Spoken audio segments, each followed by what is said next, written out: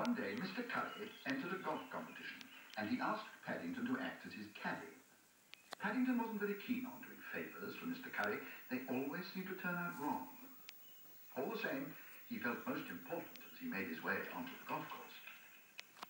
Especially when Arnold Parker, the world-famous champion who was acting as judge, waved to him.